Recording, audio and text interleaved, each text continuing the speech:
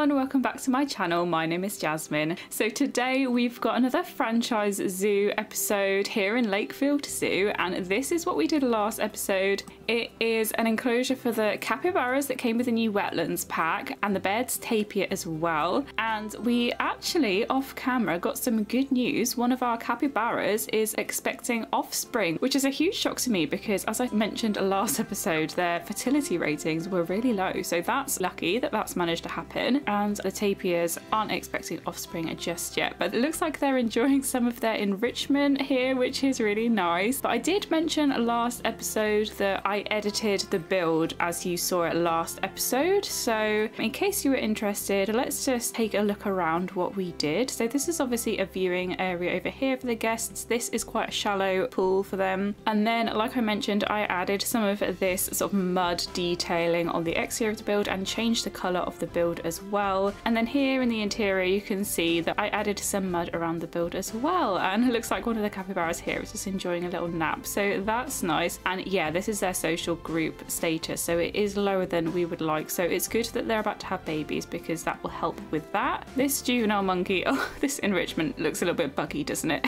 yeah let's go and have a look at the capuchins because this baby monkey is about to age up so I'll put her on contraceptives and it looks like one of our breeding pair is now elderly, so we will have to buy another. Although she came from Lakefield Zoo, so we could just have this one from Frontier Zoo breed with another one from Lakefield Zoo. Oh, I think this is the only other girl. So yeah, let's just take her off contraceptives. And apparently guests think our tickets are underpriced because we added two new animals last episode, which sounds about right. So let's make the prices 22 and 20. That still didn't remove the notification, so how about 25 I guess then? Well I'm hesitant to increase it anymore for now. Yeah that's gone away so hopefully that's worked. And also I think I'll go around and sort their enrichment in a minute but very sadly last episode our cassowaries who were our first ever animal in this zoo sadly passed away so so we have got one here that we bred a while back, Beta, who we can move into this enclosure because currently we've not got any animals in this enclosure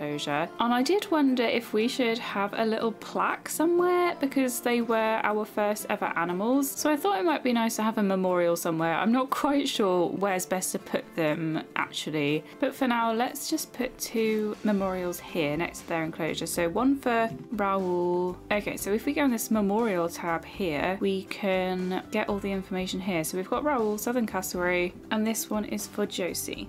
So there we go. Now let's go through all the habitats and make sure that the enrichment is okay. First of all, I wanted to check the enrichment for the exhibit animals because off camera we actually got some protesters for the salamanders because their enrichment was so low and there was loads of them in their enclosure. So I added a couple, but I might just add one or two more and we can get a mister as well. How about that? And then I don't think the terrapins have any enrichment so we could get a lamp for them, a log, how about that? But yes, let's go through all of our animals and check that their enrichment is okay. So these tapirs, oh, they're enjoying their little bath over here that we've given them. That's nice. And this is the heated pool as well. So hopefully they're enjoying that. But we don't actually have anyone researching the tapirs at the minute because we're still getting someone to finish off the sun bear research. And then the other vet is on the capybaras. So yeah, they might not actually have much enrichment at all, but their enrichment does seem fine. The capybaras actually could do with some more toy enrichment. Could we add this hot water tap?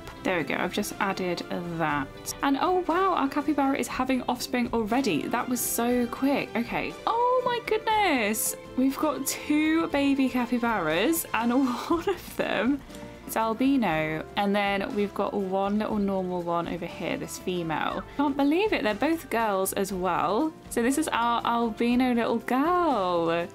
Aww. And they're just having a little swim. I mean, we've got some name suggestions, so I might add some of those this episode. But if you've got any more for future episodes, then please add them down below as always. But yeah, we finally got some more capybaras, so that'll make them a lot happier. Yeah, their last meal quality isn't the best. And our tapirs are expecting offspring as well. Such wonderful news. That's really good. Okay, so the capybara's enrichment is good. Let's check these otters. They could actually do with some more toy enrichment. So we could put one of this new toys that came with the wetlands animal pack. Yeah, I did put this in and it looked like it didn't work, but I think it actually does. Let's give them this rock water sprinkler thing. This bubble machine. Okay, they're now happy. And our giant anteater is about to mature. We've got some mechanical research. Oh, lovely. So we can actually change what we're researching now because we've completed all the food and drink shops. We could unlock some souvenir shop and let's also carry on with the Africa theme. Their last meal quality. So this looks as though it's starting to become a problem. The quality of food that we're feeding the animals now. Yeah, so we might have to increase the food quality. Let's see if that helps. Oh, he's matured now. Let's just release him to the wild immediately.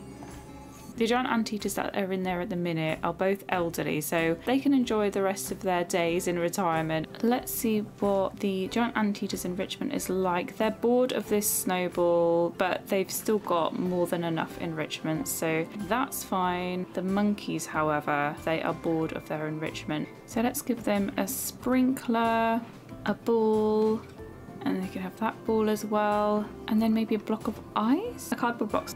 Yeah, that's enough now. The Babirusas, so their meal quality was also bad. So let's increase it to grade 2. So they're sick of their food enrichment. It looks like they could do with another barrel feeder maybe. Yeah, that's enough for them. The Sun Bears are sick of their wind chimes. I'll give them this toy and that seems to have done the trick. And the Meerkat's food is also not good enough so I will increase that as well. And then let's have a look at their enrichment. So let's give them a tennis ball as well and they're happy now. Okay, this is obviously Bader, our new cassowary, and we should probably buy him a mate. He's okay, apart from he's not got enough toys. Let's also get him this ball, this little herb thing this ball as well. Now we've got quite a lot of peafowl again and their meal quality needs improving as well. So should we just put all of them on grade 2 quality food? Oh, their enrichment is bad as well. So how about this mirror? And that's enough toys for them, but they need some more food enrichment now. Well, we could just give them another feeder, I suppose. And that's plenty for them, so that's good. Oh, wow! They're showing off their feathers for us. I think we may have some animal animals aged up in this enclosure that shouldn't have. Indy, Felix, and Shen are breeding animals. So I think all of the ones that aren't our breeding animals should go. I know we like to keep the ones we've named, but we've learned from experience that that's dangerous with peafowls. So I'm afraid I'm going to release them to the wild. And then I think that's everyone in terms of enrichment. So our overall guest happiness is in the green, so that's really good. Our education has gone up quite a bit actually, so we'll have a look at that in a minute. And the thirst level is still a little bit low, so we can maybe adjust that. I just want to go through all of the habitats. But yeah, let's go through all the food and make sure all of the habitats are on grade two food quality. Yeah, it feels as though we've got into the stage in this zoo now where we're expected to do everything to a higher standard and notifications are starting to pop up that food quality is low because we're making a lot of profit and so therefore maybe we have more expectations in terms of gameplay. So that's interesting. But if we have a look at our education then it has gone up quite a bit. And look at our talk. So they're now 11% which is really good because last episode if you remember we were really, really struggling because they kept showing up as having zero people being reached. But look, so Capuchin Monkeys this year has had 52 people reached. So they're all looking really, really good. So that must have been down to the fact that we were overworking our education staff and they weren't delivering the talks because of that. It might still be a little bit early to tell, but we've not got any roaming education. I, I'm assuming this is the roaming education score. I'm assuming because it's not been around for too long. So we'll wait a bit and see how that goes. And then if need be, we can always just add another educator. It looks like this animal talk point requires a staff member to be able to access it. But I thought that I added them to the work zones, but clearly I didn't. I must have just accidentally deleted them or something. Before we do anything else, let's have a little look through all of our staff. We've got some high workloads here, so I'll just train them up. Educators have a really high workload, interestingly. So I am keen keen to train them up anyway because the higher their training, the better the education that they're giving. But I might consider getting some more educators as well. Mechanics, let's just train them all up. And we've got some high workloads starting to appear with the caretakers. So let's train them up, but they seem to be doing okay. And then we've got a mixture here. So some low workload, some high workload. So I'm keen to just train these vendors up anyway. So I'm literally just gonna train them all up. Why don't we just add another educator then? I think that might be a good idea. Yeah, in fact, I might just add another one because we'll need them in the future. Ah, and we can reduce the salaries for some of these. So I might go through the staff and check their salaries as well because I have been forgetting to keep tabs on those. Okay, so our staff are all now being paid as efficiently as possible. I'm tempted to even hire another vet to do research because I mentioned this advanced research last episode and I got a lot of comments. So thank you to you guys. I didn't realize that this was a feature even though it was around since base game and apparently you just place a vet on an animal that you've already researched and you can complete some advanced research, which I didn't know. Or maybe we should just wait until this Sunbears one is complete. I'm just eager to start doing advanced research, but I think we will wait. Oh, and we just completed research on the Sun Bears. That's good. So how about we get this vet on the tapirs? I was just thinking we should probably check that we have got all of the right animals on contraceptives. Our tapirs and capybaras are fine. We have got some breeding capuchins, that's fine. I might get rid of some of these whilst we are here. Yeah, our giant anteaters are elderly, but that's fine. Our giant otters are fine. Recently sorted the peafowl. Meerkats, we've got three new juveniles. I'll just put the juveniles on contraceptive so that we don't forget about it. Oh, okay, so we've got a Babirusa aged up, which is this one, and I think we need to release him to the wild because we can't have two males in the zoo at the same time. And then we've got two little baby Babirusas and one of them's gold. That's really good. So I think we should actually keep him maybe and breed from him in the future. So we'll just put the babies on contraceptives and then we're covered. Beta, ah, we were going to get a female mate for Beta, weren't we? Then the sunbears are fine. I'll just put our baby on contraceptives too. So let's go to the trade center. Oh, we can actually get a gold one and she looks really good. So let's get her. Yeah, adopt her, send to zoo, send to quarantine. I think perhaps it might be a good idea to get another drinks shop. So let's have a look. Guest facilities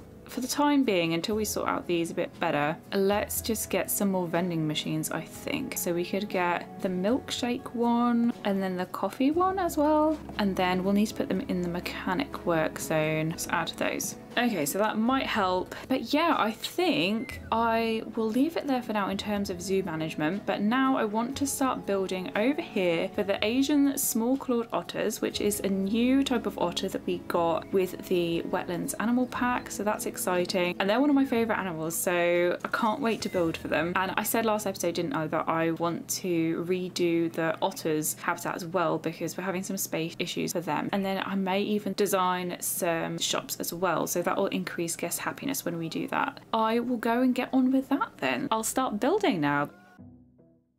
Okay, so we are in build mode and we start out by making this new type of fencing and balcony area using some metal pieces and the small individual plaster pieces that came with the African pack. And I actually really like how this fencing turned out and some of the trim that I make using the plaster pieces because I end up using it quite a lot throughout this build as trim at the bottom of the buildings as well as the trim of both the otter enclosures as well and to border some of the plant boxes that I add. So I use it to replace the fencing for the giant otter enclosure that was previously that South American stone wall piece. And I'm tempted to even go back throughout the zoo and start replacing all of those same stone wall pieces with the plaster pieces instead because I just think the effect is a little bit more cleaner and also slightly more realistic in terms of what you might see in an actual zoo. So let me know what you think of that and whether or not you would be opposed to me doing that. I also created a bit of a restaurant area using the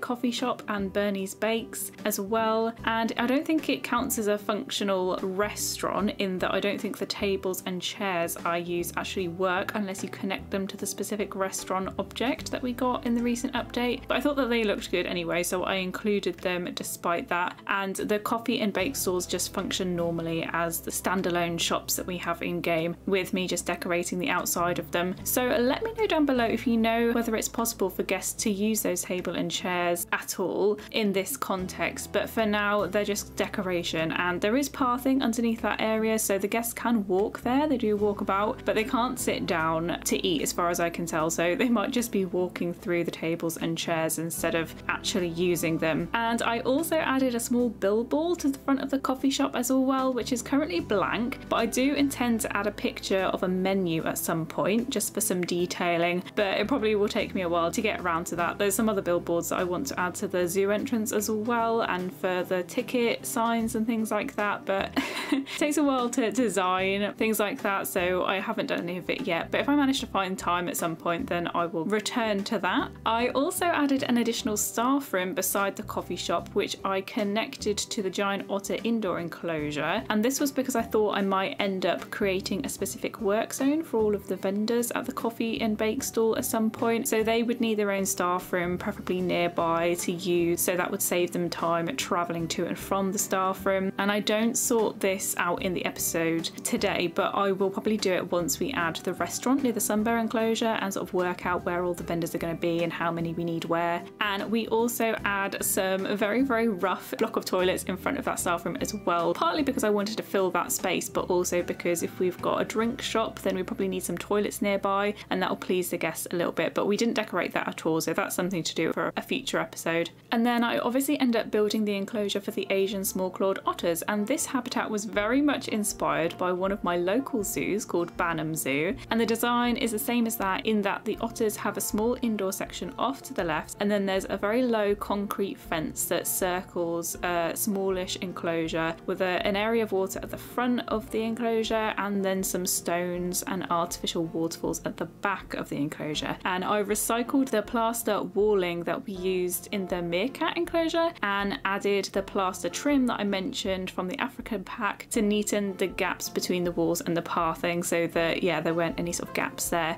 And then this habitat was really quite tricky because the deep water diving function is really unpredictable and quite glitchy in this game as well and difficult to satisfy the needs of the animals. So at first I attempted to make the enclosure with a lot more rocks forming the edges of the pool area, but then I end up going back and switching them out for some much neater plaster borders for more of an artificial pool look. And this method helps a lot, I think, with a deep water diving feature because I think a big reason why the area of water is restricted for the otters is because they need to be able to rotate completely for the body of water to count as space that they can use. So this is much harder to achieve when the edges of the water are bumpy and sort of going in and out. That means that the area that they can move around in is actually much smaller overall. And so when I added the plaster pieces in instead, the edges ended up being much smoother. And I noticed that this had a significant effect on the amount of water that the otters could actually move around in. So I tried to make the enclosure as small as possible just in general because the otters are really, really small. So it's easy for them to end up looking like ants in such a huge area of water. And they do still need a lot of water to move around in. But I did have to compromise to get the water settings right for them to be happy. So I think overall they have like 200 meters cubed or whatever it is if you just click on the water and look at the settings. But then the area of water that they could actually navigate was was half of that basically. So it really is quite tricky to make them an appropriate enclosure and for it to look good as well. But even so, I'm still pretty happy with the result overall. I think the area of water would be much smaller in real life, but it just about looks okay. So after making the Asian small clawed otter enclosure, I then moved on to the giant otter enclosure as well. And I made sure to do the same thing there because we've been having a lot of issues with the otter's navigation in the water. So I end up changing the design of the giant otter enclosure completely. And I'm sorry if you don't like their new habitat as much as you like the old design, but I think it works a lot better for them and it makes more sense within a zoo context as well. And it also matches the Asian small clawed otter habitat more. So rather than the more realistic river effect that we had previously, I used the plaster pieces to create an artificial river for them. And that means that like with the Asian small clawed otters, they have more water to dive in and it recognizes them as having more space. And we also did have to get rid of that wooden walkway area, which is a shame, but it meant that we could extend the enclosure out that side where that was. But the guests still have loads of places to see the otters and the majority of the fences around the enclosure are really quite low. So I think it does work quite well still. And I also added in some more exotic plants and flowers in some of the concrete planter boxes in the corners of the enclosure. And this is because they do come from the rainforest, so I thought it would be quite realistic for a zoo to frame the enclosure with some plants that are native for them, just to give some context for the guests and give them the feel of their natural habitat. But also, these plants feel quite staged and unnatural in terms of where they're placed, so it looks like they've been purposefully planted there as opposed to them looking as though they grow in that enclosure naturally. So I think that makes more sense within the context of a zoo. And I also added a few details off camera as well, and you will see them when I show you the build when we go back into real time. But I used some of the dirt detail pieces to make the pool areas look a little bit more worn and realistic, like I did in the capybara pool area. And I also used the terrain tool to add some dirt into the corners of the pool, and I thought that that looked quite realistic too because there would probably be a lot of dirt ending up in the pools. And as well as that, I also added some stairs to both the otters pools off camera because they are both very deep and I would imagine that the keepers would have to clean the pools so they would need some way of getting down to the bottom when the pools were emptied so that they could clean them. So that's pretty much everything that I wanted to mention in terms of the build. I know that I mentioned the community challenge in my last video but I haven't had time to think about it properly just yet because I really wanted to get this video out for you as soon as possible after the pack was released but I will organise something very soon I promise so if you're interested in that then I recommend you join my Discord server anyway because that's where we will be posting the rules and holding the challenge. So that is linked in my video description box down below in case you're interested. And if you have any questions on how to join, then feel free to just comment and I can give you a hand there. But it looks like we are about to finish building now, so I will catch back up with you in real time.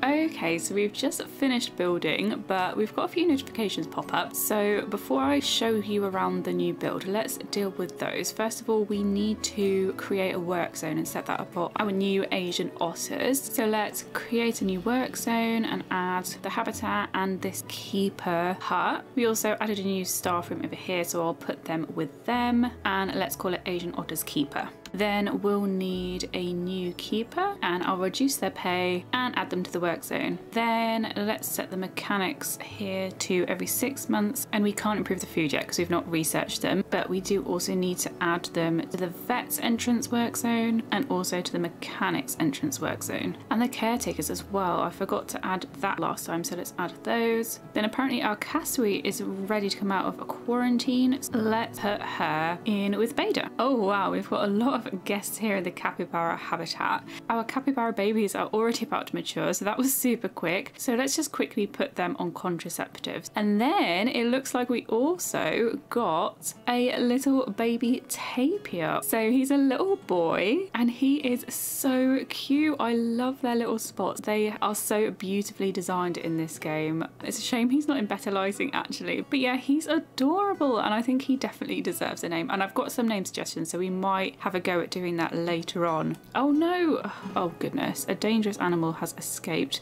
Emergency capture him then, because we redid this enclosure. They must be able to escape. So let's have a look at their traversable area. Yes, there is actually an escape route over there. So I'll just raise up the barriers a little bit and that should be able to fix it. Let's see if that's helped at all. Yeah, that seems to have worked. So hopefully we don't have another issue with that. And then I put in temporarily one Asian small claws otter because I wanted to know what the conditions were like for it, whether there was enough water and things like that. So before before we do anything else, I will see if we can get any more. Let's get this girl, this boy, and I want to get at least one other girl as well. So this one seems fine. So let's put them all in the quarantine. Hopefully that won't take too long. And it says he is not in his ideal temperature. So let's have a look. So they need to be in a temperature of 17 to 42 degrees. And I did put some heaters in there.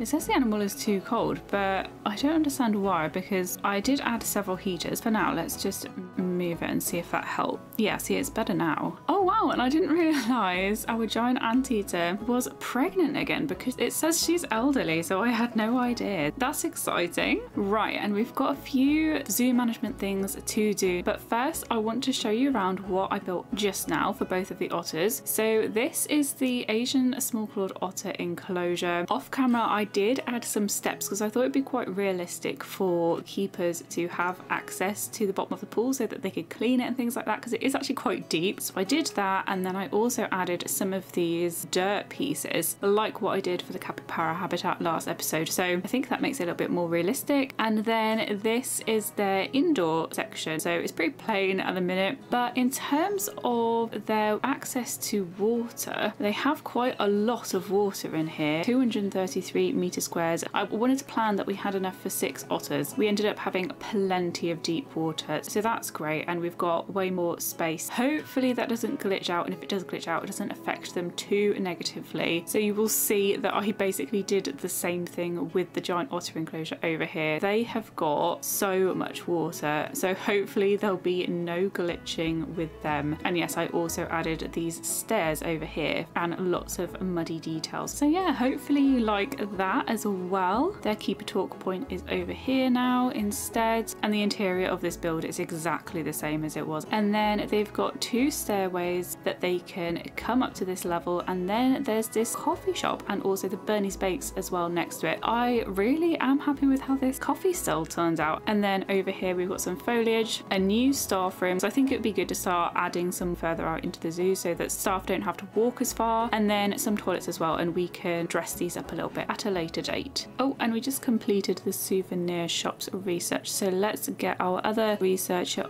on shelters and climbing. How about that? Okay, so these guys are ready to go. So let's send them to their enclosure. And it looks like our giant otters are about to have babies as well. I've actually kept the two babies that we got last episode, I think it was, in this enclosure, and they have both aged up. So what I need to do actually is just put them on contraceptives. I don't think they will breed because they're not alpha, but yeah, just in case. So I'm really pleased that this enclosure is now big enough for them to be happy with so many otters in there because it would be nice for them to have quite a big group. So, oh, we're having issues with the temperature again, and it's because it's swimming in the pool. Oh, it just occurred to me that I can change the water temperature. That will be it, won't it? Because we obviously got an update, didn't we? And we added this water temperature regulator. I reckon that's it. So let's have a look at the range. No, that's not going to reach. I mean, we could make it reach, but I don't want it to also heat up this pool. How about we just duplicate it and then add it back here for now? How about 25? That seems like a reasonable temperature. Yes, that is fixing the problem. Oh, I can't believe I didn't think of that. Obviously, I've never had to deal with that issue before. And it looks like they're now bringing in these other otters. These guys are so cute.